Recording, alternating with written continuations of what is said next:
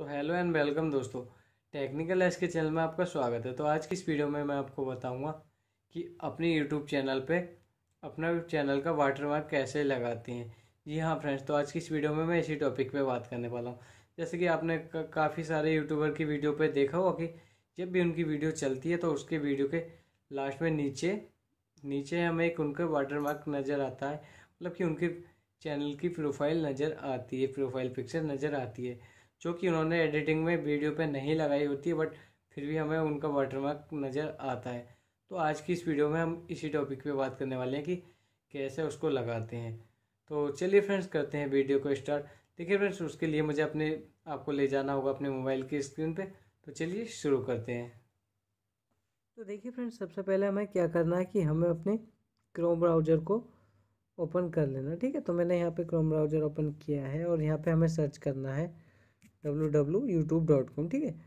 तो मैं जैसे ही W W YouTube dot com open करूँगा तो यहाँ पे मेरे पास ये मेरा चैनल खुल जाएगा, ठीक है? ना इसको हमें वीडियो मैनेजर में चले जाना तो यहाँ से मुझे डेस्कटॉप साइट में क्लिक कर देना। उसके लिए यहाँ पर डेस्कटॉप साइट पर कर लेना है अपने क्रोम ब्राउज़र को, ठीक है?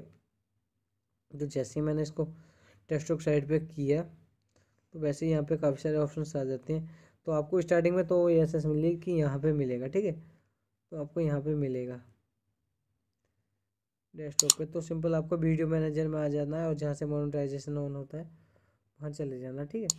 तो जैसे ही हम उस पर क्लिक करेंगे तो हमें क्या करना है?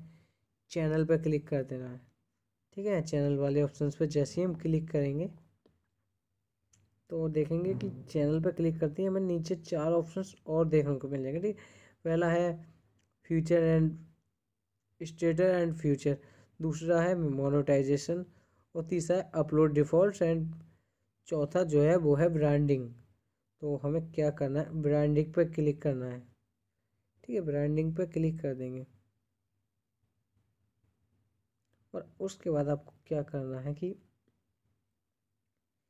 यहाँ पे अपलोड कर देना है। यहाँ से आपको अपलोड करने का ऑप्शन आ जाएगा। मैंने अपलोड किया है तो इसलिए पास मेरे पास ऐसा आ रहा है कस्टम स्टार्ट इमेज स्टार मतलब कि यहाँ से इमेज कर सकते हैं और नीचे ये देख सकते हैं कि यहाँ पे लिखा हुआ अपडेट तो आपको कुछ नहीं करना अपडेट पे क्लिक करना है और तो आपके पास तो चूज़ इमेज का ऑप्शन मिल जाएगा, ठीक है? तो आप वहाँ से अपनी इमेज चूज़ करें, अपने चैनल का जो भी लोगो लगाना चाहते हैं, उसको लगाएँ और यहाँ से आप सेटअप कर सकते हैं।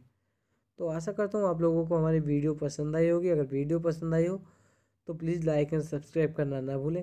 तो चलिए फ्रेंड्स मिलते हैं नेक्स्ट वीडियो में।